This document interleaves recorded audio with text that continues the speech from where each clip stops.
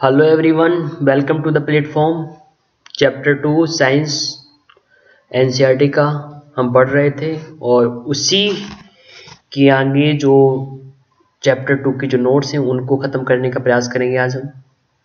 Chapter का नाम था components of food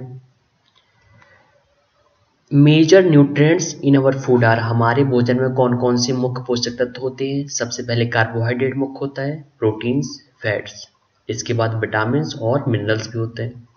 हमें तीन याद रखने हैं कि कौन कौन से जो मेजर न्यूट्रिएंट हमारे फ़ूड में?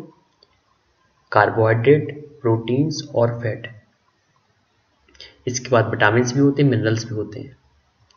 In addition dietary fibres also और इसके अतिरिक्त, हमारे खाने में कुछ डाइट्री फाइबर्स भी होते हैं जो हमारे डाइजेशन को स्ट्रॉन्ग बनाते हैं। अब जो हमने तीन मेजर न्यूट्रिएंट्स देखे कौन कौन से देखे? तीन मेजर न्यूट्रिएंट्स हमारे भोजन में कौन मुख्य तीन तत्व होते हैं? कार्बोहाइड्रेट प्रोटीन्स और फैट अब हम तीनों की उपस्थिति का किसी फ़ूड में पता करने के लिए परीक्षण करेंगे। किसी भी भोजन में कोई कार्बोहाइड्रेट है या प्रोटीन है या फैट है या अन्य कोई विटामिन या मिनरल्स है कि नहीं है, उसकी उपस्थिति के लिए हम टेस्ट करना सीखेंगे। सबसे पहले test for the presence of carbohydrate carbohydrate की उपस्थिति के लिए हम कौन सा टेस्ट करेंगे? तो सबसे पहले हमने जिस भी फ़ूड में हमें कार्बोहाइड्रेट की उपस्थिति पता करना है, उसमें थोड़ा आयोडीन का विलयन डालेंगे और यदि जो सॉल्यूशन है वो ब्लू और ब्लैक हो जाता है तो कार्बोहाइड्रेट उपस्थित पाया जाता है और यदि नहीं होता तो कार्बोहाइड्रेट नहीं है। तो कार्बोहाइड्रेट की उपस्थिति के लिए क्या करेंगे? सबसे पहले मैस्ड फ़ूड फ़ूड लिया जिसमें पता करना, थोड़ा मैच किया और आयोडीन मिलाई। और यदि ब्लू और ब्लैक हो गया तो कार्बोहाइड्रेट है। अगला है, एक इंपॉर्टेंट पॉइंट है कार्बोहाइड्रेट से ही related carbohydrates found in our food are in the form of starch and sugar हमारे खाने में जो कार्बोहाइड्रेट्स होते हैं, किस फॉर्म में होते हैं? स्टार्च की फॉर्म में और शुगर की फॉर्म में। अगला प्रोटीन के लिए टेस्ट क्या होता है? किसी खाने में प्रोटीन है या नहीं, हम कैसे पता करेंगे? सबसे पहले मैस्ड फ़ूड मैस्ड माने गुथा हुआ, टूटा हुआ। खाना, उसमें कॉपर सल्फेट डालेंगे प्लस दस बूंद कास्टिक सोडा की डालेंगे। यदि पूरा विलियन वायलेट पैकनिंग हो गया तो प्रोटीन उपस्थित है। क्या क्या करेंगे? फ़ूड लिया कॉपर सल्फेट डाला और 10 बूंद कास्टिक सोडा की डाली। तो यदि पूरा जो सॉल्यूशन है, विलियन है, वो वायलेट बैगनी रंग का हो जाता है तो उसमें प्रोटीन है। आगे बढ़ेंगे। अभी हमने दो परीक्षण पढ़ लिए हैं। कौन कौन से? कार्बोहाइड्रेट की उपस्थिति के लिए और प्रोटीन की उपस्थिति के लिए। कार्बोहाइड्रेट के लिए क्या करते हैं? यदि हमें पता लगाना है। आयोडीन मिलाइए। यदि ब्लू और ब्लैक हो गया तो कार्बोहाइड्रेट है और प्रोटीन के लिए क्या करते हैं? कॉपर सल्फेट डालो फ़ूड में एन डालो। और यदि जो सॉल्यूशन है वो वायलेट हो जाता है तो प्रोटीन है। अब आगे बढ़ते हैं।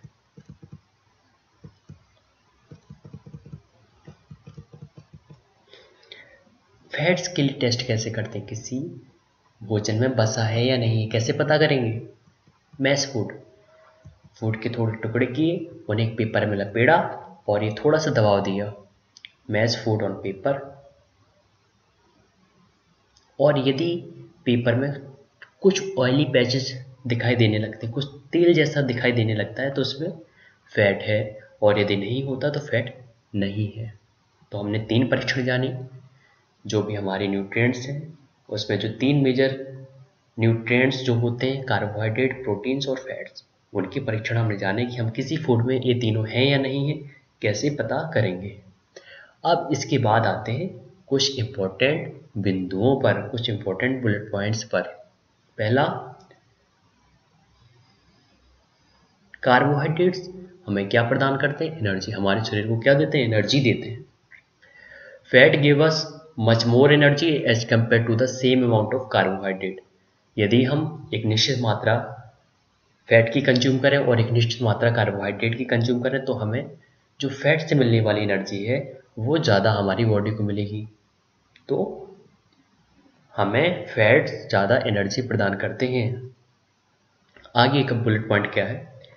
Proteins are needed for the growth and repair of our body जो प्रोटीन्स हैं वो आवश्यक होते हैं हमारे शरीर की विकास के लिए और उसकी क्षतिपूर्ति के लिए। आगे आते fats and carbohydrates are also called energy giving foods जो बसा है और कार्बोहाइड्रेट है, उनको एनर्जी प्रदान करने वाले फूड्स भी कहा जाता है। प्रोटीन्स को नहीं कहा जाता, याद रखिए प्रोटीन्स को क्या कहा जाता है? बॉडी बिल्डिंग फ़ूड प्रोटीन्स का प्रयोग करने से हमारी बॉडी में मसल्स का डेवलपमेंट होता है। आगे आते हैं। सम सोर्सेज ऑफ़ कार्बोहाइड्रेट यदि मैं कहूँ कि कार्बोहाइड्रेट के मुख्य स्रोत क्या है हमारे भोजन में? तो हम जो भी गेहूँ खाते हैं, जो चावल खाते हैं, जो बाजरा, मक्का, आम खाते हैं, तरबूज खाते हैं, पपीता sugar cane potato sweet potato तो इनमें क्या होता है? कार्बोहाइड्रेट होता है। मोटा मोटा याद रखना कि सभी जो अनाज हैं, उनमें कार्बोहाइड्रेट पाया जाता है और जो भी हाई कैलोरी डेंसिटी की चीज़ें हैं, उनमें भी कार्बोहाइड्रेट अच्छा पाया जाता है। जैसे आलू हो गया, आम हो गया, आदि। इसके बाद आते हैं फैट के सोर्सेज क्या होते हैं? जो बसा है, उसके स्रोत क्या होते हैं? दो तरह के सोर्स होते हैं प्लांट सोर्सेज और एनिमल सोर्सेज जो पौधों से प्राप्त होने वाला वसा है और कुछ जानवरों से प्राप्त होने वाला वसा है। पौधों से प्राप्त होने वाले वसा में उदाहरण क्या क्या है? ग्राउंड नट मूंगफली, तिल nuts soybean coconut oil mustard oil and sunflower oil सभी जो तेल है मुख्यतः, तिली हो गया, मूंगफली हो गया, और एनिमल सोर्सेज में क्या है? फैट के सोर्सेज एनिमल सोर्सेज में घी हो गया मिल्क हो गया क्रीम बटर एंड मीट इसके बाद आते हैं प्रोटीन के सोर्सेज यदि पूछी जाए कि प्रोटीन के कौन कौन से सोर्सेज तो आप बताएँगे, दो तरह से कैटेगराइज करेंगे। सबसे पहला प्लांट सोर्सेज दूसरा एनिमल सोर्सेज प्लांट सोर्सेज में क्या है? Moong gram peas soybeans, beans and dal. जो वेजिटेरियन लोग होते हैं अपने प्रोटीन की भरपाई कैसे करते हैं? मूंग खाते हैं वो, चने खाते हैं, मटर खाते हैं, सोयाबीन खाते हैं, बीन्स खाते हैं, दाल खाते हैं। और जो नॉन वेजिटेरियन होते हैं, वह एग्स लेते हैं फ़िश लेते हैं मीट लेते हैं, ये भी प्रोटीन के सोर्सेस हैं। आगे आते हैं proteins are also called body building food जैसे मैंने बताया था कि प्रोटीन को खाने से मसल डेवलप होती है। यदि हम अपनी ज़्यादा प्रोटीन की डाइट लेते हैं और ये कुछ शारीरिक श्रम करते हैं फ़िज़िकल एक्सरसाइज करते हैं तो हमारी बॉडीज बहुत अच्छे से डेवलप होती है। अब आते हैं कुछ विटामिन पे। हमने कार्बोहाइड्रेट की बात कर ली, हमने प्रोटीन्स की बात कर ली, हमने फैट की बात कर ली, अब आते हैं विटामिन पे। विटामिन ए क्या करता है हमारे शरीर के लिए? फ़र्स्ट एरो देखिए vitamin A keeps our skin and eyes healthy जो विटामिन ए है, हमारी त्वचा को और हमारी आँखों को स्वस्थ बनाता है। आगे vitamin C help our body to fight against many diseases जो विटामिन सी है, वह हमारे शरीर को कई बीमारियों से लड़ने की शक्ति प्रदान करता है। आगे, vitamin D helps our body to use calcium for bones and teeth vitamin D है, उसकी मदद से हमारे शरीर को हड्डियों और दांतों के लिए कैल्शियम की मदद मिलती है, कैल्शियम प्राप्त होता है। विटामिन डी से ही। आगे है, विटामिन ई के सोर्सेज क्या हैं? विटामिन ई के स्रोत हैं मिल्क, फ़िश, कैरेट।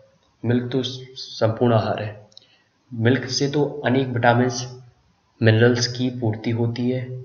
मिल्क में कार्बोहाइड्रेट भी होता है, प्रोटीन भी होता है, फैट भी होता है। तो इसलिए मिल्क को संपूर्ण आहार कहा जाता है। विटामिन बी के स्रोत क्या है? Liver feet rice. Vitamin C के स्रोत क्या हैं? जो भी कट्टे फल हैं, भोजन है orange tomatoes guava amla and lemon एक बिंदु याद रखना है यहाँ पर कि आंवला में बीस गुना ज़्यादा विटामिन सी होता है ऑरेंज की तुलना में। विटामिन डी विटामिन डी से क्या होता है? विटामिन डी हमें हमारे दांतों और हड्डियों में जो भी आवश्यक कैल्शियम है फास्फोरस है उसकी कमी को दूर करता है। विटामिन डी सनलाइट से मिलता है और इसके अन्य स्रोत क्या है? मिल्क है बटर है एग है फ़िश है एंड लीवर है। आगे आते हैं। Rice is a carbohydrate resource. यदि पूछा जाए कि राइस में चावल में क्या होता है, मुख्यतः उसमें कार्बोहाइड्रेट होते हैं। इसकी बात आते हैं डिसऑर्डर्स डेफिशिएंसी में। किस विटामिन की कमी से क्या रोग होता है? तो विटामिन ए की कमी से। लॉस ऑफ़ विजन रतौंदी कहते हैं। रतौंदी हो जाता है। विटामिन बी वन की कमी से वेरी वेरी होता है। वेरी वेरी में वीक मसल्स हो जाती हैं। विटामिन सी की कमी से स्कर्वी रोग होता है। स्कर्वी में हमारे जो मसूड़े हैं उनसे खून निकलने लगता है। विटामिन डी से रिकेट्स होता है। रिकेट्स में हमारी जो हड्डियाँ हैं, वो कमज़ोर हो जाती हैं। कैल्शियम की कमी से हमारे दांत और जो हड्डियाँ हैं, वह क्षय होने लगती हैं। आयोडीन की कमी से क्वाइटर रोग हो जाता है, जिससे हमारी गर्दन में ग्रंथियाँ बन जाती हैं। आयरन की कमी से एनीमिया होता है। कुछ वर्ड्स हैं। ओबेसिटी मोटापा होता है। रफेज क्या होता है? फाइबर होते हैं। रेशे होते हैं, जो हमारे डाइजेशन में मदद करते हैं।